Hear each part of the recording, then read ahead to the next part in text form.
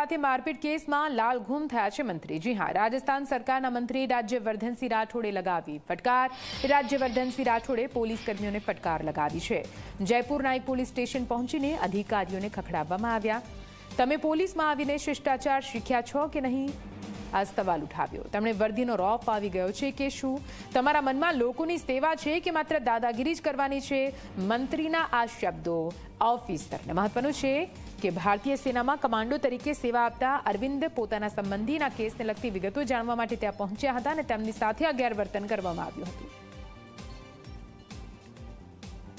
Phone आते ही मेरे को गाली दे रहे थे फोन पे फोन पे मेरे को गाली दे रहे थे ऐसे तो ये ऐसी बात तो नहीं है आपको गाली दी बिल्कुल मेरे को गाली दी है। अच्छा उसको गजराज सिंह नाम का उसको गाली देना सिंह जी को रिकॉर्डिंग में संजय जी हाँ, मैं। आपसे जब बात कर रहा हूँ तो आप आप किससे बात कर रहे हैं? आपको तो बेसिक प्रोटोकॉल ही नहीं पता। मैं आपसे बात कर रहा हूँ ना आप वहाँ किससे बात कर रहे हैं? उसको छोड़िए। वो गाली तो बहुत ही छोटी चीज़ हो गई। इजी कंटेस्टिंग ये ये कंटेस्ट करना चाहते हैं मेरे से? मैं यहाँ बहुत धैर्य से रहा हूँ बट संजय शर्मा कंटेस्ट करना चाहते हैं। तो जब आपसे बात करी जाए तब आप बात करें नहीं तो सावधान में खड़े रहेंगे और यहाँ नहीं खड़े रहना चाहते अपने दफ्तर जाइए। बेसिक मैनर्स आपने नहीं सीखे? पुलिस के अंदर? या वर्दी का कोई अलग रॉब हो गया कोई धैर्य कोई पेशेंस कुछ है? कुछ जनता की सेवा मन में है? या दादागिरी है? Why do you put such people in me आपको फ़ोन करा मैंने कहा, बड़े आराम से कुछ देर दिए I know he wants to contest उसको गाली दी या नहीं दे कहा बाढ़ में उसको गाली दी थी इसको नंगा करके पूरी सेना में सर्विंग सोल्जर को नंगा करके आपने डंडे मारे मारे नहीं मारे बताइए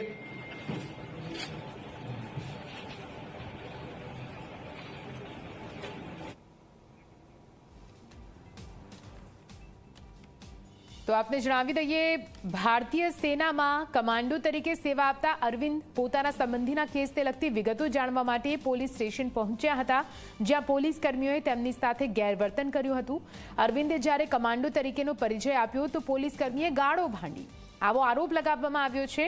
પોલીસ સ્ટેશનના એસઆઈ સહિત અન્ય પોલીસ કર્મીઓએ ત્યારબાદ આર્મી જવાનને નિવસ્ત્ર કરીને માર પણ માર્યો હતો. ત્યારબાદ નિવસ્ત્ર સ્થિતિમાં જ આરોપીઓ વચ્ચે બેસાડ્યા હતા.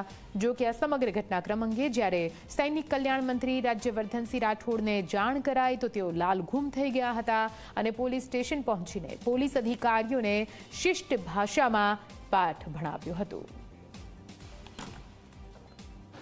पुलिस के कुछ कर्मियों ने निर्वस्त्र करके उसको डंडों से खूब पिटाई करी उसकी और फिर निर्वस्त्र करके लोगों के बीच में बिठाकर कुछ पुलिस कर्मी उससे दोहराते हैं कि पुलिस भारतीय सेना की बाप है।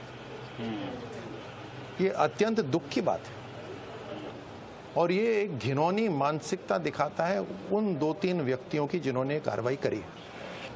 मुझे राजस्थान पुलिस पर विश्वास है कि वो ऐसी घिनौनी मानसिकता वाले पुलिस कर्मियों की मानसिक जाँच भी करवाएँगे, इलाज भी करवाएँगे और कार्रवाई भी करेंगे।